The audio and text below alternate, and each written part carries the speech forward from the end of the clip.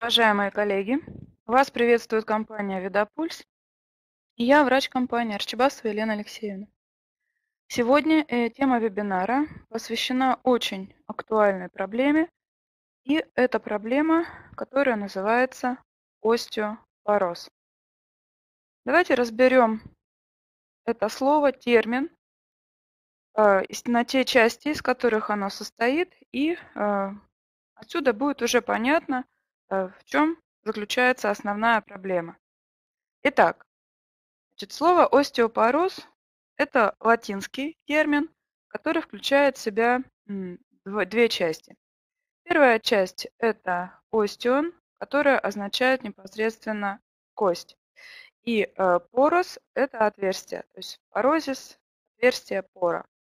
То есть получается, что э, термин остеопороз обозначает процесс, который связан э, с тем, что в костях э, происходит повышенная порозность, образование э, пор, пустот, которые не содержат костной структуры и таким образом заполнены как бы, воздухом.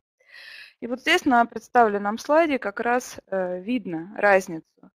Если та часть рисунка, которая находится слева, это изображение структуры нормальной кости, да, действительно она имеет определенную ячеечность, то э, с правой части э, наблюдается кость, э, которая находится в состоянии остеопороза. Посмотрите, какая разница между нормой и патологией. Вот они, эти ячейки, вот они, эти пустоты, поры, результате чего э, происходит изменение структуры костной ткани, самой костной ткани становится меньше, структура меняется, и такая кость э, становится более хрупкой.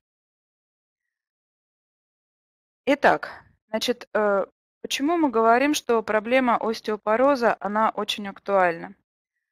Актуальность ее заключается в том, что, смотрите, по данным Всемирной организации здравоохранения остеопороз э, как причина инвалидности, как причина смертности человека занимает четвертое место в мире.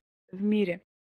Значит, это заболевание, которое является причиной смерти, на четвертом месте. После чего?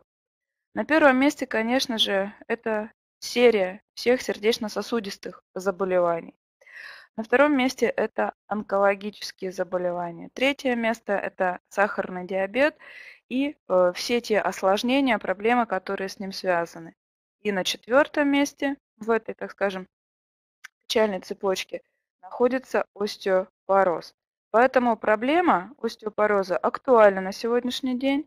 Э, все осложнения, которые э, связаны с остеопорозом, они приводят к инвалидности и к смерти. Итак, теперь давайте уже а, посмотрим а, на непосредственно термин остеопороз и дадим определение, что же это за заболевание такое. Итак, остеопороз – это хронически прогрессирующее системное обменное заболевание скелета. И вот э, первая часть определения, с которой видно очень важные моменты. Первое это не конкретно а, да, заболевание кости. То есть нельзя сказать, что это проблема, связанная с патологией костной ткани. Нет. Это системное обменное заболевание. То есть при этом заболевании происходят изменения, на, а, которые затрагивают многие физиологические процессы нашего организма. Это обменное заболевание. Причем оно прогрессирует. То есть со временем оно прогрессирует, то есть усугубляет свою тяжесть. Итак, заболевание скелета, которое проявляется снижением плотности костей, нарушением их микроархитектоники, что приводит к усилению хрупкости костной ткани, нарушается метаболизм костной ткани э, с преобладанием процессов катаболизма, катаболизма, то есть э, процессов разрушения костной ткани над процессами костеобразования. Это приводит к снижению прочности костей и создает повышенный риск переломов. Итак, остеопороз – это очень сложное, это хроническое э, системное обменное заболевание, э, в результате чего изменяется структура костной ткани, она делается более хрупкой, менее прочной, и это приводит к возникновению переломов. Вот что такое проблема остеопороз. Теперь давайте посмотрим опять немножечко на цифры статистики, которые касаются уже непосредственно нашей страны. Ну, примерно такая же статистика, она а, прослеживается и во всем мире. Так вот, на стране а, остеопорозом а, страдает каждая третья женщина и каждый пятый мужчина старше 50 лет. То есть если взять 10 Э, женщин, да, условную выборку, то три из них как минимум будут страдать остеопорозом. И примерно два мужчины будут страдать этим же заболеванием. То есть э, частота встречаемости на группу населения этого заболевания очень высокая. Теперь давайте посмотрим, э, что э, остеопороз, который приводит к развитию ну, одному из своих ярких проявлений да, клинических, это, естественно, переломы. Так вот, при возникновении э, перелома э, такие пациенты умирают в течение полугода. Это, опять же, данные статистики. А большинство из них остаются инвалидами, э, прикованными в постели на, так скажем, на всю последующую жизнь. Что чаще всего подвергается переломам? Чаще всего подвергается переломам это перелом тел позвонков и трубчатых костей. И наиболее частой э, патологией при остеопорозе является перелом шейки бедра. И вот эти все патологии, они, конечно же, будут являться причиной э, смертности среди лиц пожилого возраста. Вот э, сейчас когда мы начали говорить о проблеме остеопороза, мы уже несколько раз коснулись того, что эта а, проблема в основном касается людей, скажем, не молодого а, возраста, да, возраста, который старше 50 лет. И это будет являться возрастной критерий одним из факторов риска а, возникновения этого заболевания. И сегодня мы попытаемся объяснить, почему именно так. Что из себя представляет остеопороз, как его классифицируют? Сейчас разберем основные клинические проявления. Так вот, остеопороз э, классифицируется на э, две большие категории. Выделяют остеопороз первичный и выделяют остеопороз вторичный. Ну, э, само определение первичный говорит о том, что эта проблема остеопороз самостоятельно Первичное заболевание. Посмотрите, как его еще называют, первичный остеопороз. Инволюционный, постменопаузуальный. Э, значит, его называют еще синильный или старческий. То есть все говорит о том, что как изначально самостоятельный первичный процесс, он возникает э, в э, пожилом возрасте. Нужно сказать, что Какие факторы риска приводят к развитию первичного а, остеопороза? Ну, сам, самый первый фактор риска – это, конечно же, возраст. Возраст, э, ну, так называемый старческий возраст, хотя немножко по классификации это неправильно, но будем говорить о возрасте старше 50 лет. То есть вот этот фактор риска, который касается ну, абсолютно всех. Что же еще относится к факторам риска? Это тип телосложения, так скажем, э, тип скелета человека. То есть хрупкое телосложение – это тоже фактор риска. Небольшой рост человека – фактор риска развития первичного остеопороза.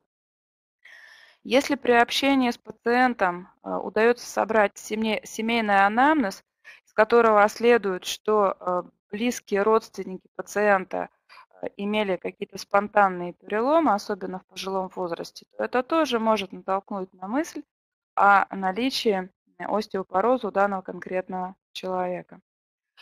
А далее все факторы риска, они в основном касаются дисфункции репродуктивной, то есть все, что связано с изменением э, половых, активности половых гормонов. И вот это вот изменение функции активности половых гормонов, оно может проявиться еще на ранних этапах развития. Это особенно касается женщин. Посмотрите, Э, позднее наступление менструации у девочек. Позднее наступление считается э, после 15 лет. Э, раннее прекращение менструации. Значит, или если в течение ну, всего репродуктивного периода у женщины были менструации скудные и редкие. Если э, женщина в течение да, репродуктивного периода страдала э, бесплодием, то есть это все говорит о том, что имеет место нарушение репродуктивной эндокринной функции. Это является очень таким а, большим фактором риска развития первичного остеопороза. Посмотрите, вот э, у женщин остеопороз, и мы видели это по данным статистики, развивается в 4-5 раз чаще, чем у мужчин. И именно это обусловлено работой женских половых гормонов э, эстрогенов. Мы сегодня про них еще будем говорить, какую же функцию в организме женщины они выполняют в плане поддержания э, костного скелета. И другая, другой вариант развития остеопороза – это остеопороз, который называется вторичный. Само название вторичный, оно говорит о том, э, что э, само заболевание не первично, то есть оно возникает на фоне какого-то э, изначального заболевания, какого-то изначального патологического процесса. То есть оно является как следствием, как осложнением чего-то, что, так скажем, превалирует, является главным. Ну, допустим, остеопороз вторичный может развиваться на фоне определенных эндокринных э, заболеваний. А, часто остеопороз может быть следствием, а, допустим, долго текущего сахарного диабета, либо изменением функции коры надпочечников. Ну вот, э, давайте разберем э, те причины, которые могут привести к развитию вторичного остеопороза. Еще раз хочу сказать, как осложнение первопричины. То есть э, что является исходным условием? Ну, это все, что связано с нарушением питания, нерациональным питанием. Почему? Потому что э, питание – это очень э, важный фактор физиологический, и именно нарушение питания может привести к различным патологиям. А, строение кости и в целом обменные процессы, которые происходят в костной ткани, они э, связаны э, с таким обменом, как э, кальциофосфорный обмен. Поэтому нарушение нерациональное питание может привести к тому, что плохо усваивается кальций, фосфор, другие микроэлементы из продуктов питания. И любая другая патология желудочно-кишечного тракта также может привести к нарушению того, что микроэлементы просто не усваиваются и как следствие развивается остеопороз. Далее, это э, такие причины, как злоупотребление алкоголем, это курение и употребление большого количества кофе, в котором содержится кофеин. А почему? Ну, когда мы будем говорить о профилактике, мы еще раз затронем роль вредных привычек а, в жизни человека и то, что касается кальциевого обмена. Потому что эти вещества, алкоголь, курение и кофе в больших количествах, они вымывают кальций из кости, из костной ткани. А следующая причина, которая может привести ко вторичному остеопорозу, это прием лекарственных препаратов, в частности стероидов. Стероиды – это так называемые стероидные гормоны. А, соответственно, э, длительный их прием их назначают пациенту, назначают их при сложных э, заболеваниях хронических. И, как правило, такие препараты, стероидные гормоны, они применяются очень длительное время, э, даже могут применяться годами. И, соответственно, может привести к нарушению кальциевого обмена.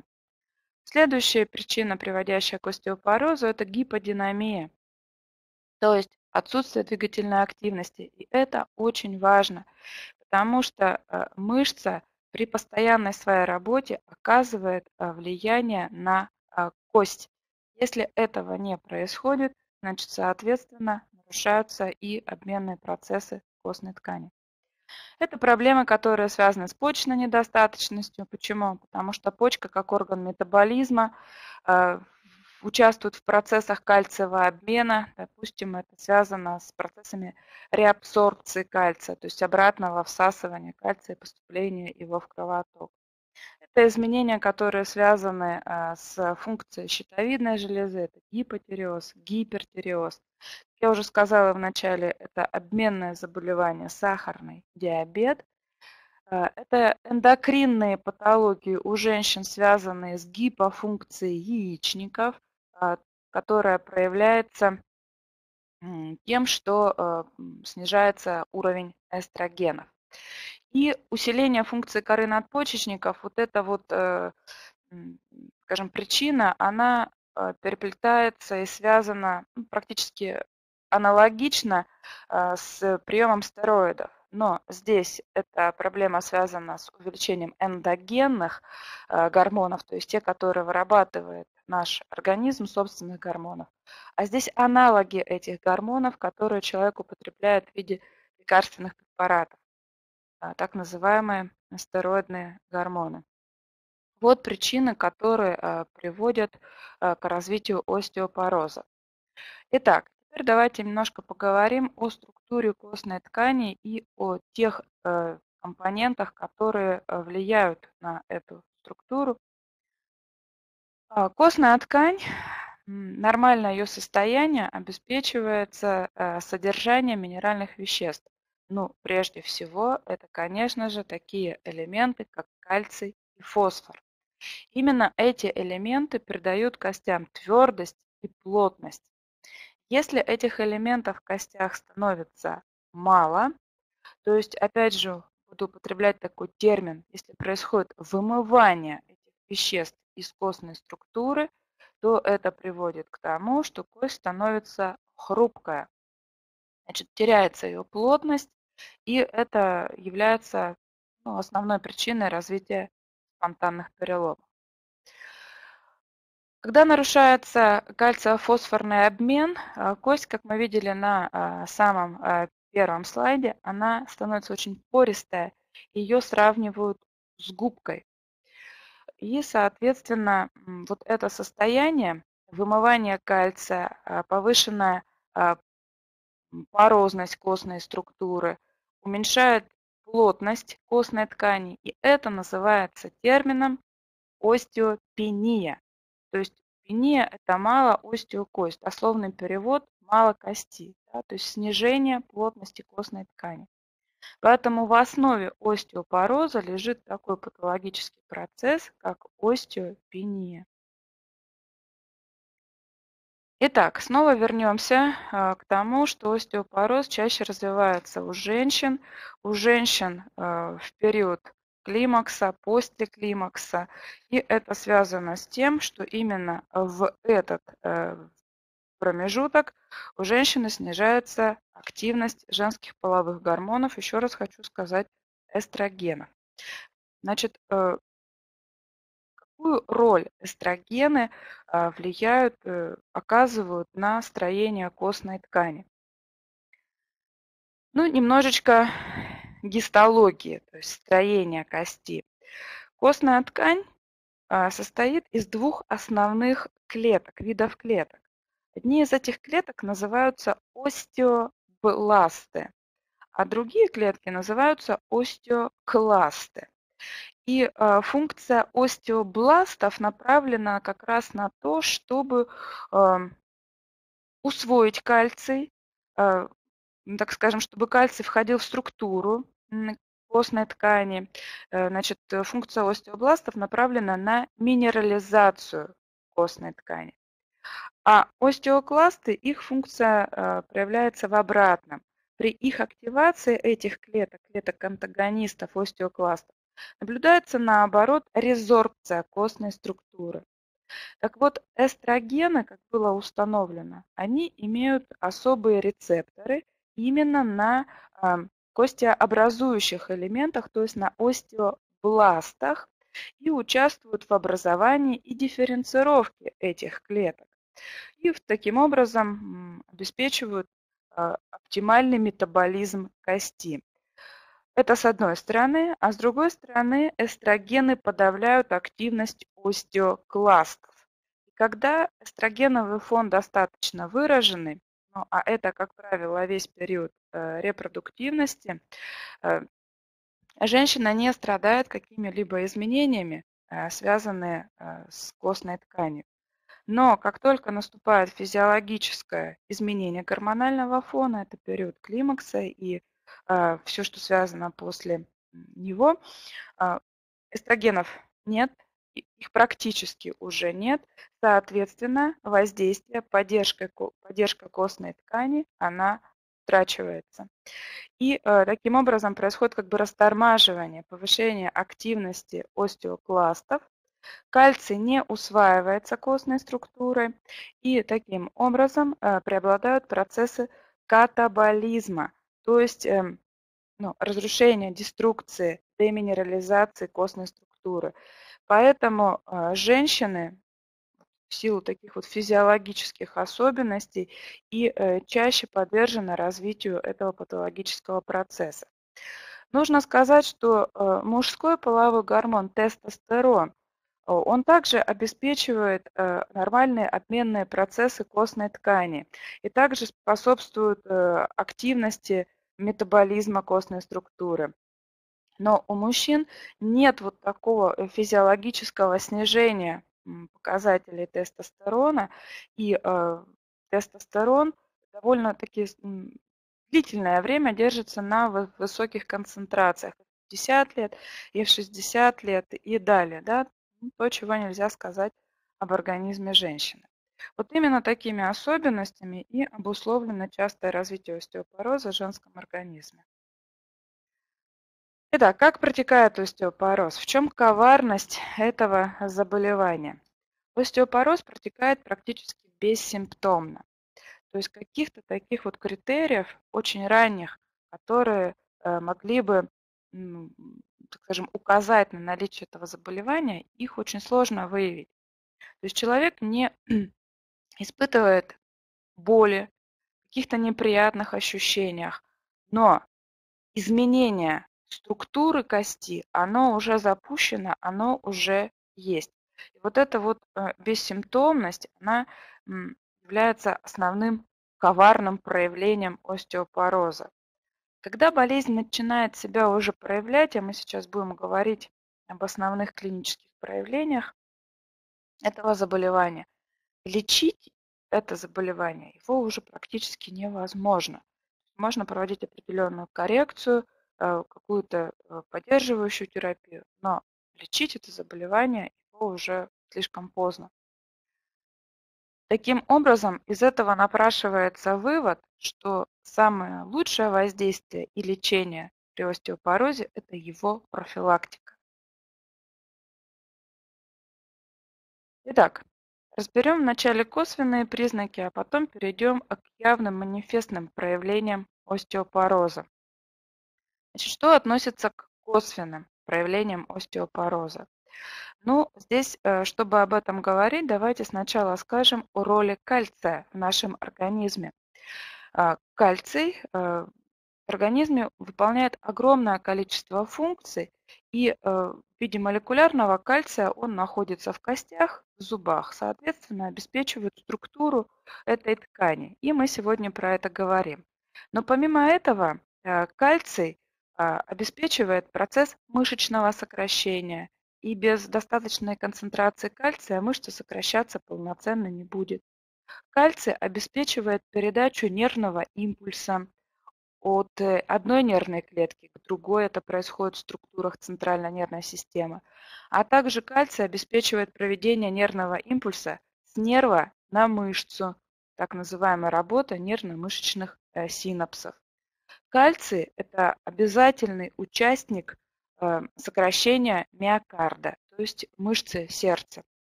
Также кальций участвует в процессах свертывания крови, в процессах агрегации тромбоцитов. То есть ну, функции, которые обеспечиваются в организме с присутствием кальция, их очень-очень много. А теперь давайте представим такую ситуацию, что э, в организме, так как мы сказали, что остеопороз – это системное обменное нарушение, и этот обменный, нарушение обменного процесса связано нарушением обмена кальция, Таким образом, будет понятно а, вот эти вот э, проявления косвенных признаков. Недостаток кальция, общая слабость, быстрая утомляемость, нарушение э, передачи нервного импульса с нерва на мышцу, да, с нервной клетки на нервную клетку. Поэтому вот такие косвенные проявления. Нарушение мышечных сокращений приводит к тому, что пациент будет испытывать мышечные судороги. Как правило, это ножные судороги. Костные проявления – это ранняя седина, это изменение работы сердца, как правило, это проявление в виде тахикардии, это могут быть нарушения ритма сердца. Это а, проблемы, связанные со стоматологией, проявление пародонтоза, появление зубного налета.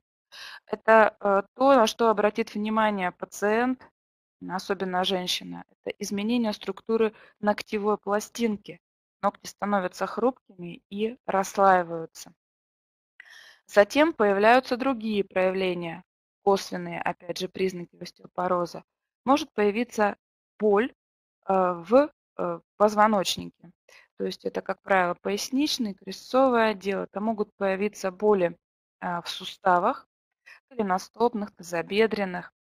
В целом какая-то боль, э, как говорят пациенты, костная боль. Э, может быть диагностирована случайно, но, опять же, да, связана с болевыми проявлениями межпозвонковая грыжа, мышечная слабость. И э, то, что обращает на себя внимание, это уменьшение с возрастом роста человека. Причем уменьшение не на 1-2 сантиметра, это как бы не бросается в глаза и на это, как правило, не обращается внимания, а значительное уменьшение роста а, на 10-15 сантиметров. Существует даже такой термин, как стаптывание, стаптывание человека с возрастом. А за счет чего? А за счет того, что идет изменение костной структуры позвонков. И вот посмотрите здесь на этом слайде как раз э, продемонстрировано, как выглядел человек до проблемы, связанной с остеопорозом, и как произошло изменение роста, когда значит, существует эта проблема. Посмотрите, наблюдается искривление позвоночного столба, потому что нарушается структура костной ткани позвонков, стаптывается да, с возрастом человека. Теперь перейдем к клиническим проявлениям остеопороза. Ну, клинические проявления– это, конечно же, появление боли. Боль в области спины. Это поясничный, грудной, крестцовый отдел позвоночника. Боли, как правило, усиливаются, когда человек начинает выполнять какую-то физическую работу. А, да, и, соответственно, испытывает боль, и дальше уже эту физическую нагрузку выполнять не может либо это человек, который длительно находится в каком-то статическом положении, то есть э, пребывает в одном и том же положении, допустим, сидит за компьютером очень длительное время и появляется боль в спине.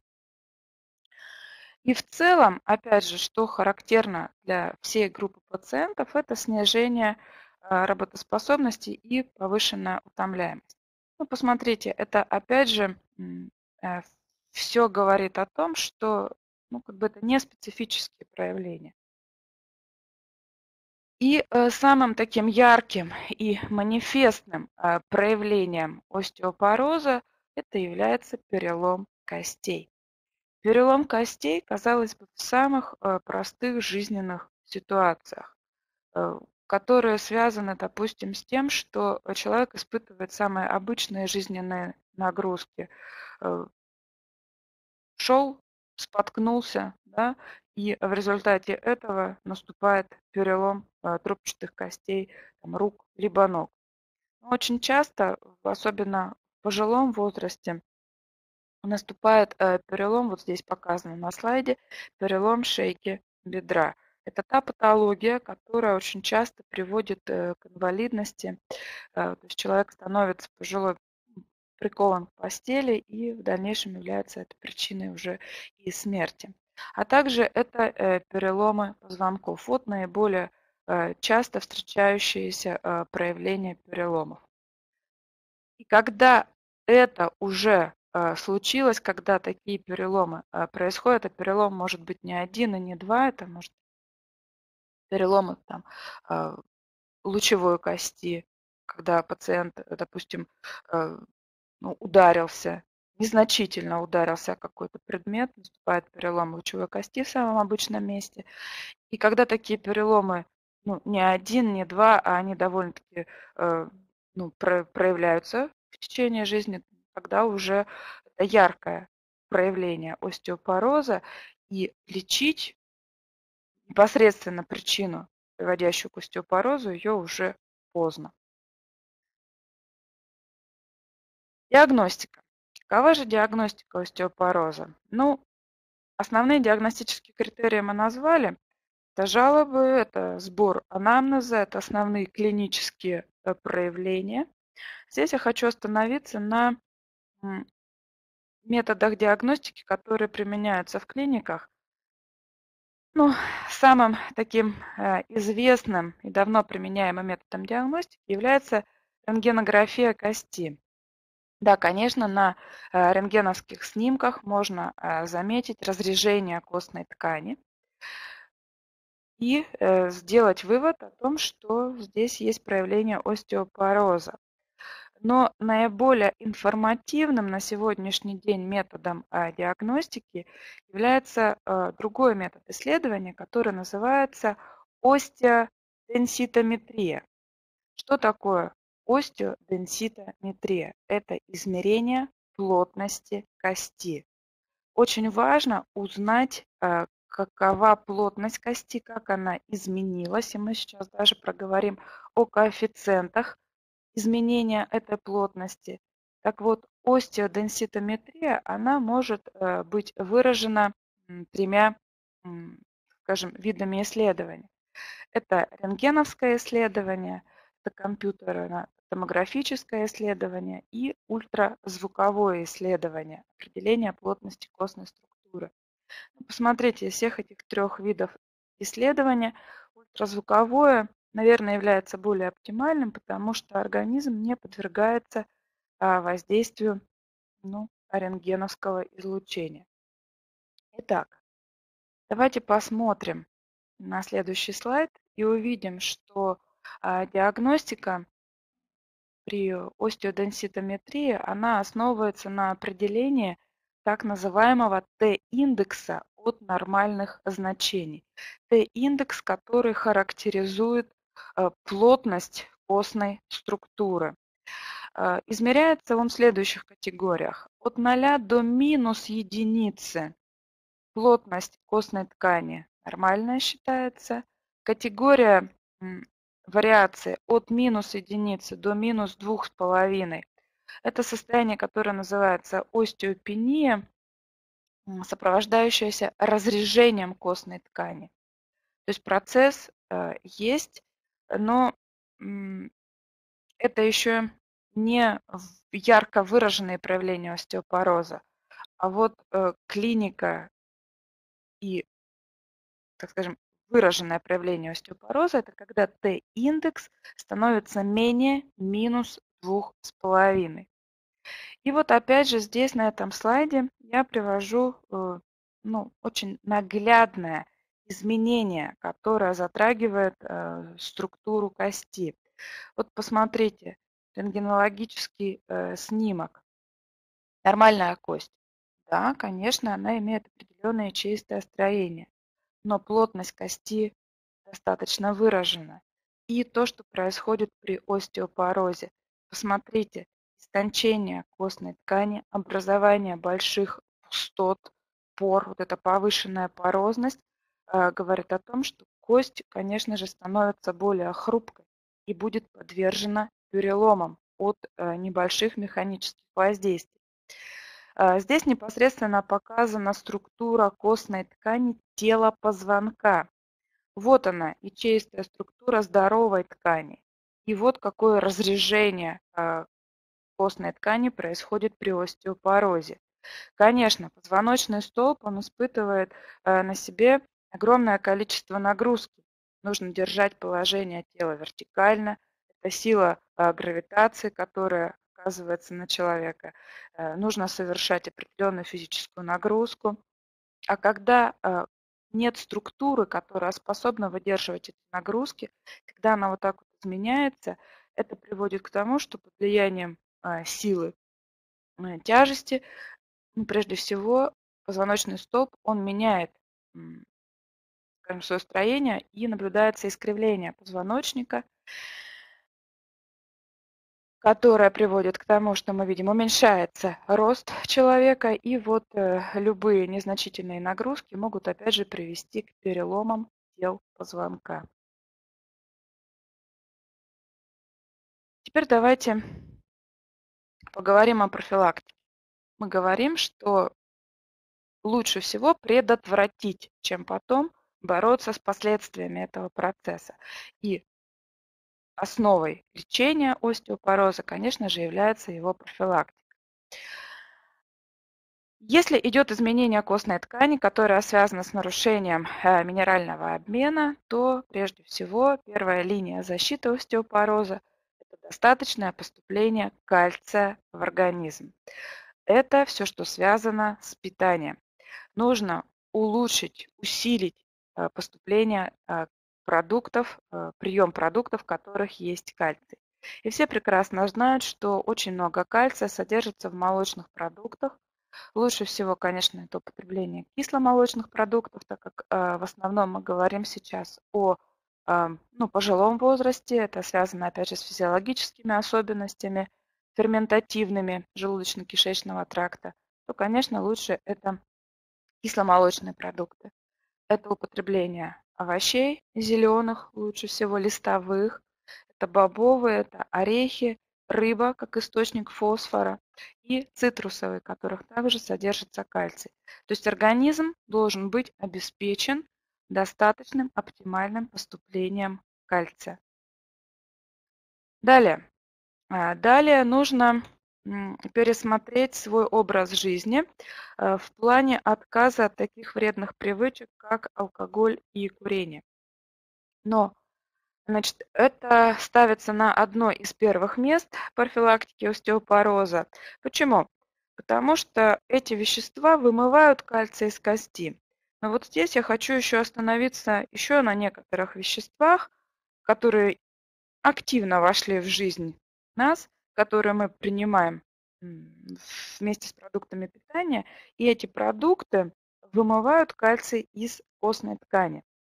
Это продукты, в которых содержится большое количество фосфорной кислоты.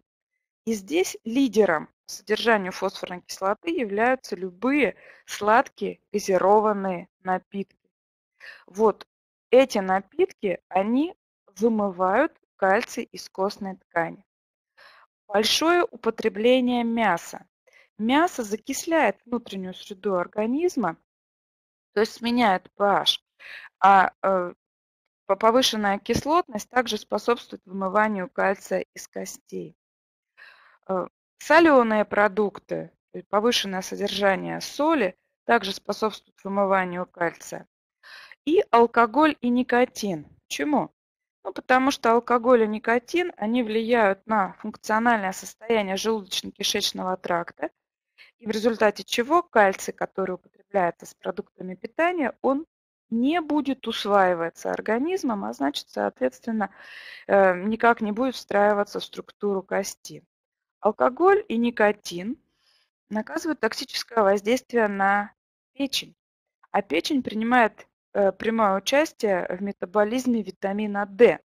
Это еще один компонент, еще один фактор, который обеспечивает нормальное эм, э, протекание э, фосфорно-кальциевого обмена и способствует усвоению э, костью кальция. А также алкоголь, ну, в большей степени, снижает уровень половых гормонов, о чем мы сегодня уже говорили. Таким образом, алкоголь и никотин – огромный фактор риска по развитию остеопороза. Следующее, на что нужно обратить внимание, это, конечно же, на физическую активность. Потому что именно нагрузка, которая дается мышцам, обеспечивает нормальное функционирование и костной ткани. Именно физическая нагрузка э, стимулирует, ну, будем так говорить, укрепляет структуру кости. Поэтому физическая нагрузка в любых своих проявлениях, она должна присутствовать. Следующая мера профилактики – это соблюдение гигиены питания. Гигиена питания – это вот довольно такой обширный термин, да, обширное такое вот, многообъемлющее, что можно внести в это определение – оно должно себя включать прежде всего сбалансированное питание. Сбалансированное. То есть в питании должны присутствовать и белки, и жиры, и углеводы. Потому что без достаточного поступления а, с пищей в организм белка строение костной ткани также невозможно, как и без поступления кальция. Поэтому э, гигиена питания один из, тоже является одним из факторов профилактики. Следующее. Переходим уже непосредственно к лечению. Что хотелось бы отметить в плане лечения? Что если к остеопорозу приводит э, какая-то эндокринная патология, э, то, конечно же, ну, первая причина устанавливается, и тогда нужно бороться с нарушениями этой эндокринной патологии. Да, то есть все, что связано с проблемами сахарного диабета, с проблемами, функциями гормонально-щитовидной железы, надпочечников. То есть в целом нужно отрегулировать гормональный фон. Если это касается проблем эндокринных, э, связанных с репродуктивной сферой, то, конечно же, назначается заместительная гормональная терапия, но э, под контролем врача-эндокринолога, гинеколога, для того, чтобы восстановить нормальный эндокринный гормональный баланс в организме женщины. Лечение сводится к тому, что обязательно назначаются препараты кальция, но э, кальций, если его принимать монопрепарат, содержащий кальций, он, как правило, усваивается намного хуже организмом, э, если по сравнению с тем, если кальций назначается вместе с витамином D потому что витамин D, он обеспечивает э, нормальное, так скажем, усвоение кальция и обеспечивает встраивание кальция в состав костной ткани. Это обязательно назначается лечебная физкультура, как и профилактика, и как лечение, которое дает нагрузку мышцам, а через них обеспечивает укрепление костной ткани. Это назначение массажа и Э, когда процессы остеопороза уже выражены, особенно это касается тех изменений, которые затрагивают изменения структуры позвонков, то тогда назначаются применение корсетов, поддерживающих корсетов.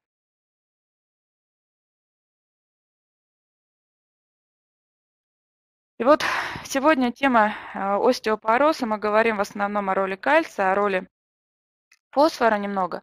И хотелось бы еще сказать о таком микроэлементе, как марганец. Ну, да, как, как так, остеопороз, кальций, причем здесь марганец. Так вот, э, было доказано, что марганец тоже принимает активное участие на процессы костеобразования и состояния э, хрящевой ткани.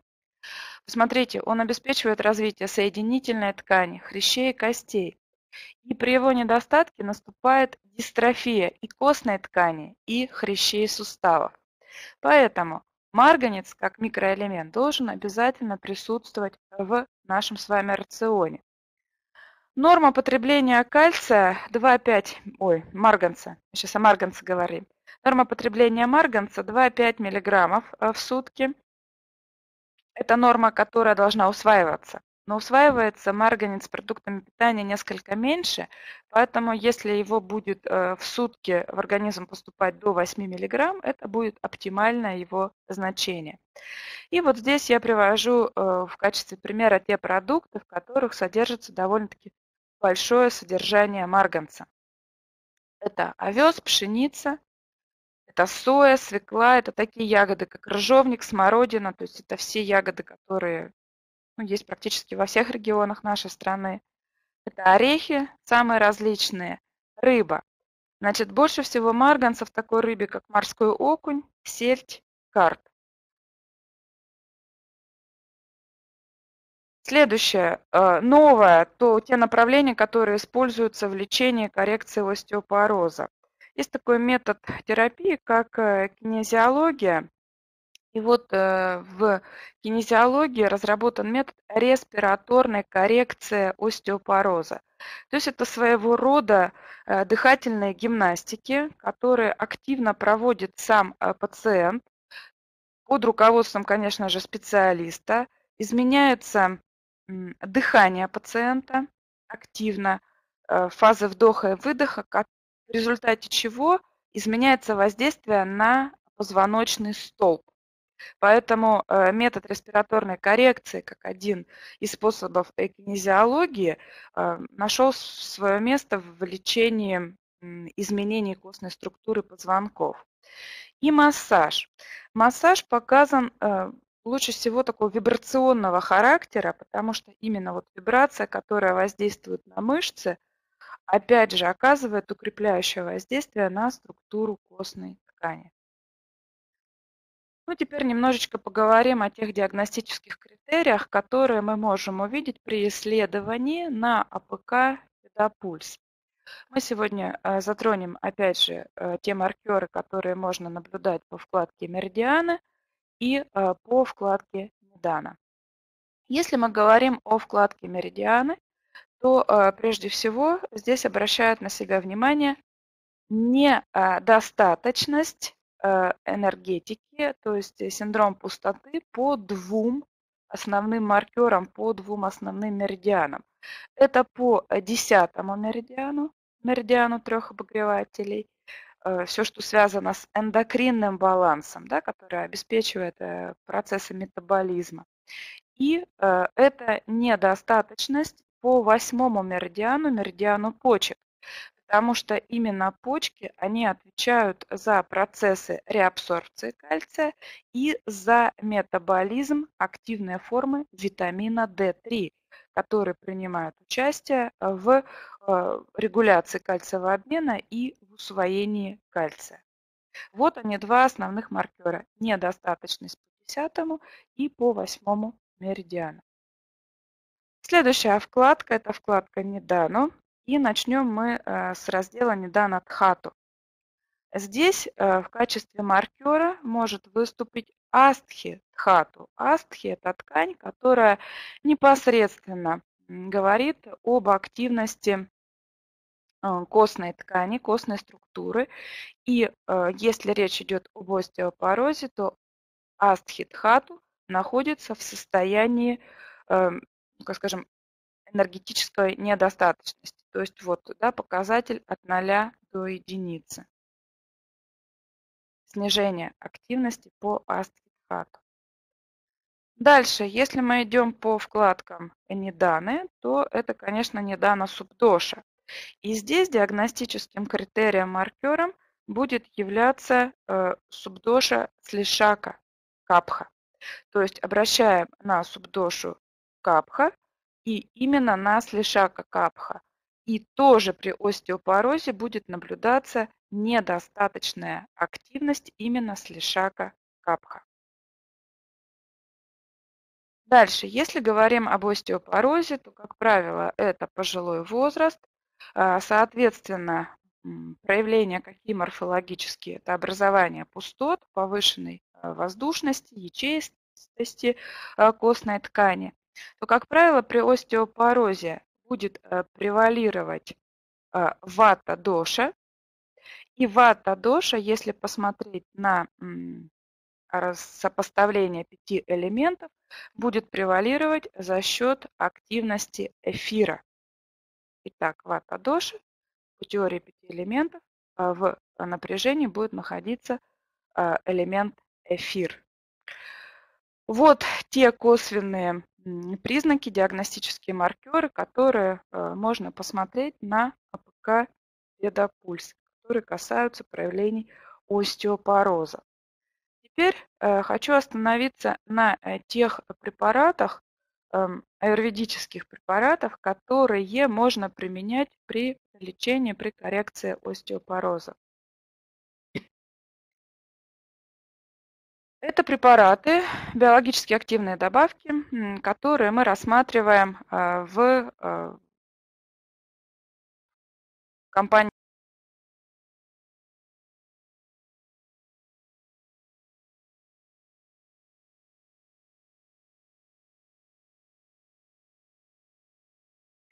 Значит, э, здесь хочется остановиться на а, двух таких препаратах, как астикар, он так и называется, астикар, да, асти это кость.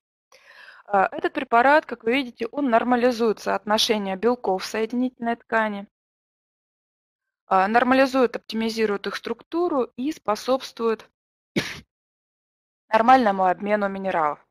И в целом он восстанавливает костно-хрящевую структуру. Значит, это препарат Астикар. Извините. И второй препарат компании Трада – это препарат Энергоблиз. Смотрите, это аюрведический э, эффект, который у него выражен, направленный на нормализацию вата-доши. Этот препарат, который помогает усваиваться пищевым компонентам и в частности кальцию, который употребляется вместе с продуктами питания. То есть он обеспечивает э, лучшее всасывание кальция ну и других минералов, э, которые, соответственно, поступают вместе с пищей. И вот сочетание вот этих двух компонентов, двух препаратов, это астикар и энергоблиз, они э, улучшают в целом фосфорно-кальциевый обмен. Ну и последнее, опять же, на чем хочу остановиться, потому что это очень важно, это э, роль ионов кальция. Соответственно, э, откуда мы получаем кальций? Это, конечно же, продукты питания. Поэтому очень важно обеспечить э, полноценное питание, обеспечить организм поступлением кальция. Э, норма поступления кальция э, в организм взрослого человека примерно около 1200 мг в сутки. Но в среднем 1000, ну как правило, это 1200. И вот чтобы лучше кальций усваивался и лучше обеспечить метаболизм костной ткани, нужно кальций принимать э, вместе э, с магнием и с цинком. Вот именно сочетание вот этих вот трех элементов обеспечивает нормальное усвоение самого кальция и обеспечивает эм, включение кальция в минеральный обмен и встраивание его в структуру костной ткани. Ну, вот это вся информация, которую я вам хотела рассказать по остеопорозу, о современных каких-то диагностических методах исследования, о новых подходах э, терапии, об аюрведических особенностях. Если есть какие-то вопросы, я на них отвечу. Всех благодарю за внимание.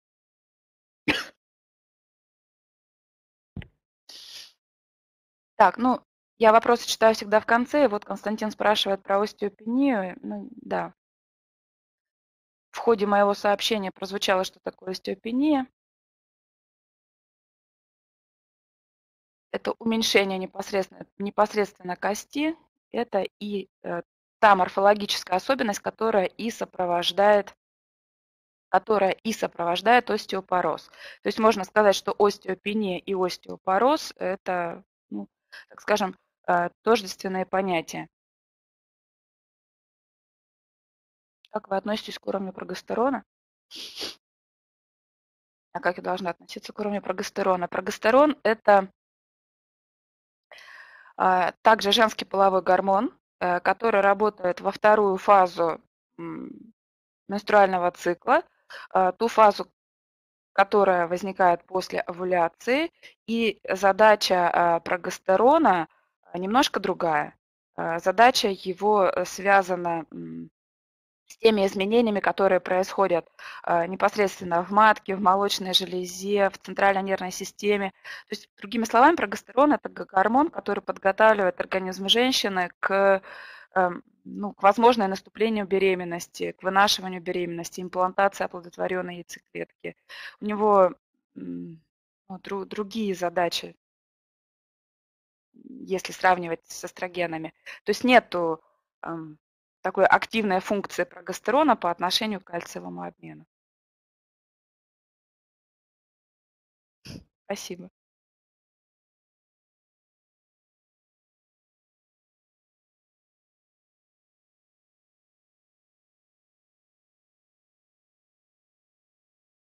Если вопросов больше нет, всем большое спасибо. Приглашаю.